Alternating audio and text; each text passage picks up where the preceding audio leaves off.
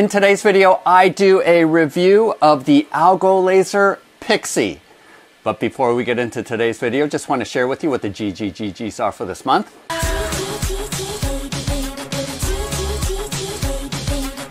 Each month, Bob the Beholder picks some of my Patreon supporters to receive gratitude gifts. And for this month of August of 2025, we have three copies of the Delian Tomb, the starter adventure for the Draw Steel RPG. We have five pledges for Second Dynasty's expendable STL files that's currently on Frontiers. $100 to go towards a crowdfunding campaign, which my Patreon supporters are currently voting upon. And then finally, this actual model will be included as part of this month's gratitude gifts. Go ahead and use the link below to go to my Patreon page where you can get in on this possibility of being chosen by Bob to receive one of these gratitude gifts. Remember, it only takes a dollar to become a Patreon member. So I've done a number of review videos for lasers and I've used them in the gaming hobby to create terrain as well as tokens. And even though my channel is primarily focused on 3D printing, there's a number of applications where actually using a laser is much, much faster, especially in creating inserts for your board games as well as anything that's like a box or a card holder. What can take your 3D printer six hours to print out, you can create in a laser in less than 10 minutes. And go ahead and check out my video of the AlgoLaser that I reviewed a while back. But they went ahead and sent me this for review, even though I do not receive any payment, nor do I have an affiliate link. The link that's in the description below goes directly to their website if you want to purchase this. Now, let me get the pricing out right off the bat. This is going to be cheaper than your standard framed laser that I typically have used in the past, where those are going to cost anywhere between 800 to about $1,100 for anywhere between a 20 to a 40 watt laser. And this is going to be half of that cost with the most expensive 10 watt option at right under $400 US. There is a 3 watt option that's about $100 cheaper than that, as well as a 5 watt option that's about $340. But I want to say right now, probably you don't want to get the 3 watt option. In the least, I would suggest getting the 5 watt. Ultimately, though, if you are going to be cutting materials, I would definitely opt for the 10 watt. Now, having said that about pricing, one of the first things you're going to notice is this thing is tiny compared to the large framed diode lasers that you see out there. And probably the biggest selling feature about this is that you don't need to hook it up to your laptop or computer in order to field the SVG files into it to make your prints. Now, you can do that, and other people's laser software of choice is Lightburn, and that's going to give you a lot of robust features, and you can definitely use that for here. And if you're going to be making a lot of custom pieces, or if you want to have a lot of control over the laser, I would still say go ahead and use Lightburn. It's definitely worth it. But if you're just hobbying, if you are not wanting to hook it up to a laptop, this is the first machine that I know of that enables you to laser without having any Lightburn or any computer hooked up to it. So as you can see, this is a small form factor and I think this would go well as a beginner laser and for just the casual hobbyist who wants to make maybe some keychains or some trinkets or um, engrave on uh, small pieces, this is perfect for it. And because you don't have to hook it up to a computer, you can download your own images via a SD card. But I found that there's actually a lot of preloaded images that are inside of this machine. So that's what I ended up printing out. And as you can see here, I have a couple of images and they turned out really nice and clean. The other feature that is unique about this is that you are able to write on this touch screen with a pen or even with your finger and it will actually laser that onto the image. You can resize it, whatever size that you want. I think that's a super unique feature that I haven't seen in other places.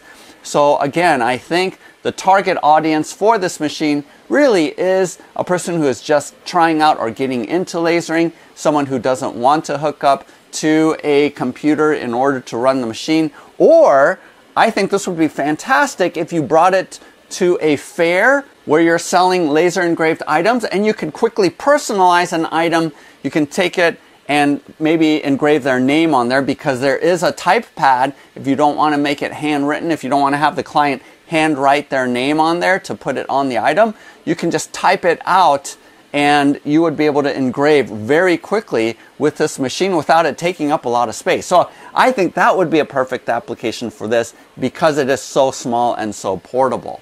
It doesn't have autofocus, which almost all of my machines that I've used in the past doesn't have autofocus either, but it's relatively easy because they provide you with this little measuring tool and you set it down and you just um, use a knob to move it up and down until it hits the top of this. Super simple to focus that way. And another fantastic feature that I found is just safety wise, the machine won't really turn on unless this is fully down. So if you're using this machine maybe with kids around, this ensures that no one's going to get hurt or accidentally burnt. Now, because I used stock that sort of stuck out and this couldn't close all the way, I'm glad that there is an override feature where you're able to turn on the laser without this going all the way down. So I'm grateful for that kind of flexibility, but I do believe that the machine is really safe. And there is an option to vent this. So if you're going to be lasering indoors and you have a venting system, a powered venting system, there is a way to do that, although I do all of my lasering outside because you get a powerful burn smell from whatever stock or material that you're doing, especially if you are lasering in acrylic or anything plastic. Those fumes are toxic. My recommendation overall is to do these outdoors where you have plenty of ventilation, unless you have a really good system indoors to vent those fumes out. Also, you have to remember that looking at a laser beam will hurt your eyes, so it does come with protective glasses, but you do additionally have these protective covers here that's going to prevent you from burning your eyes by looking at the laser. So I really appreciate the safety features that are found here. Also, I do know that there is an option for a rotary. So if you want to be lasering on cups or on curved objects, you do have the option of getting the rotary. I didn't have that, but if you do, there's a way that you can raise this entire unit up and down to account for the additional height that is there. I also think the interface and control up here is highly intuitive. It isn't super complicated, so I just experimented scrolling through the different options that are found. And there is an operating system integrated into this board so that you don't have to convert files to SVG. You can uh, send in JPEGs or PNGs and the machine will convert it for you, which I think is fantastic. The other thing that I really like about this is you are able to precisely place where the laser is going to be on the machine because the grid appears right here in the interface. That is super handy. Once I did unbox this, it was up and running right away. I did have to update the firmware after hooking it up to my Wi-Fi. That was really quick. And then once I plugged it in, turned it on, um, set the focal point for the laser, I was up and running very, very quickly, so no assembly required. The number one downside that you're going to have with this machine is the size. So because the print volume here is about the size of my hand, um, you're going to be limited in the projects that you can do. So for the most part, I might be able to use this for things like creating keychains, for creating tokens for gaming. That would be really easy to do here, and there is enough cutting power where you can create tokens. But in terms of making a lot of terrain, I do think the size limitation is going to keep you from making a lot of terrain or even inserts for board games. And at that point, you might want to go with the larger regular format, but it does become exponentially more complicated because you have to learn how to use Lightburn as your input into those machines.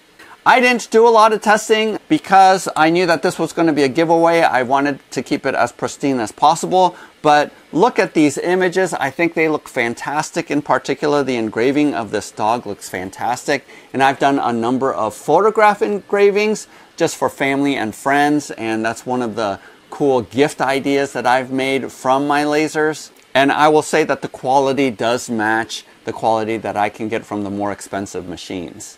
This is a relatively quick video. Go ahead and hit the like button and subscribe. And again, if you are interested in the uh, possibility of being chosen by Bob to receive this machine, go ahead and go to my Patreon page where you can get in on that. The draw is going to be at the last Sunday of this month. Happy lasering!